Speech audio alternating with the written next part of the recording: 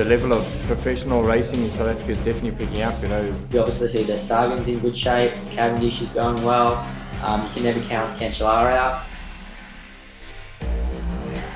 Milan San Remo 2013 will go down in infamy as one of the most epic races of all time, rivaling even the 1980 Liège-Bastogne-Liège. Hopefully by now the riders will have recovered some feeling in their hands and feet. Despite the epic conditions and the half-time snow break, it was a familiar script in the end, with the climb of the Cipressa lighting the race up with 30 kilometres to go, and the final selection being made on the climb of the Poggio. Britain's Ian Stannard of Sky Pro Cycling rode an incredible race, but ultimately had to acquiesce to the sprinters. Odds-on favourite Peter Sagan of Cannondale overplayed his hand in the finale and gave up the win to Gerald Ciolek of MTN Qhubeka. We caught up with a new champion and found out just how things were sinking in. Crossed the finish line yesterday and uh, I had some time to rest. We had a nice dinner with the team and so good sleep, so I'm already recovered a little bit.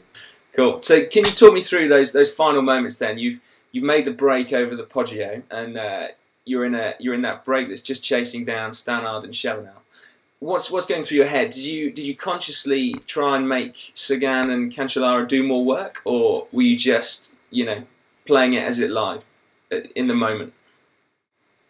Yeah, and the descent of the Poggio, it was more. Uh, you're so concentrated because the road is wet and there's so many corners and you're just concentrated to stay on the bike and maybe not take too much risk that you you don't crash and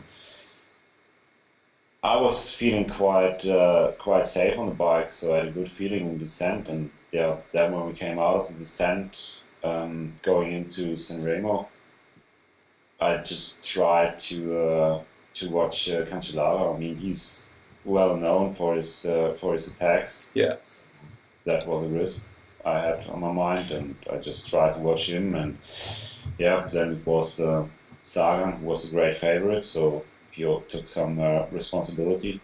Yeah. So, at what point in those final meters, then, did you think that you know you were going to win Milan San Remo? I think finally you know it when you cross the finish line. I mean that there is a chance, and you, when I felt I was able to uh, go over the podium with the best riders, and then it was like, hey, maybe I can do a good result today. And then going on the last 300 meters in the perfect position, it was like, okay, maybe it's uh, about the win or about the victory today. So. In women's cycling, Giorgia Bronzini won the GP Città di Padova. Her Wiggle Honda team controlled the race to ensure a sprint finish, dominated by the former double world champion. The World Cup opens next weekend with the Trofeo Alfredo Binda.